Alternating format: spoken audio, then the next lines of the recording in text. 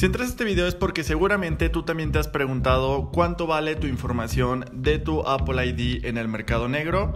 Como todos nosotros sabemos, a lo largo de Internet existen muchas vulnerabilidades e inseguridades los cuales permiten que diversos hackers o personas con malas intenciones roben toda nuestra información. Para esto el sitio Top 10 VPN realizó un análisis exhaustivo en el mercado negro para ver en cuánto se cotizan las cuentas de los principales sitios web, en el cual podemos ver los precios muy variados en las principales plataformas. Por ejemplo, por un Apple ID se pide 15.39 dólares. Esto puede parecer mucho, pero si lo comparamos con la información de inicio de sesión de PayPal, se pide 247 dólares. Podemos ver que la diferencia de precios es bastante pronunciada. Asimismo, por cuentas como la de Netflix se piden 8.32 dólares. De algunas otras plataformas de entretenimiento tenemos Spotify que se pide la cantidad de 0.21 centavos de dólar para obtener esta información.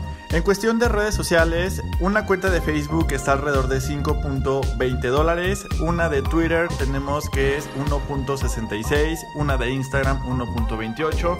Podemos ver los precios son bastante variados dependiendo de la seguridad de cada una de las plataformas. En cuestión de finanzas personales, el que liderea es el PayPal, como les comentaba anteriormente, con 247 dólares. A continuación tenemos detalles de banco en línea que cuestan 160.15 dólares, detalles de alguna cuenta cuenta de débito 67.50 dólares. De alguna tarjeta de crédito tenemos el precio de 50 dólares. Ya por último, otras más que tenemos es de cuentas de Airbnb, que el precio está en 7.87 dólares. Para cuentas de Uber, 7 dólares.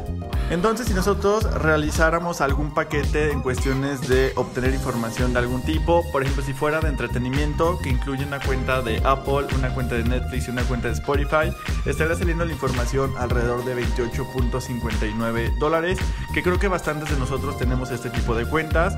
Alguna en cuestión de redes sociales nos saldría en 10.21 dólares. Si fuera en cuestión de finanzas personales, es donde el precio es más elevado porque está alrededor de 710.60 65 dólares. Pero como en cada video, lo más importante es tú qué opinas, qué crees de estos precios, tú tienes cuidado con tu información. Ahora puedes saber cuánto vale lo que tú tienes en tus cuentas de las principales plataformas web. No olvides dejármelo aquí abajo en los comentarios. Tampoco olvides suscribirte para nuevos videos.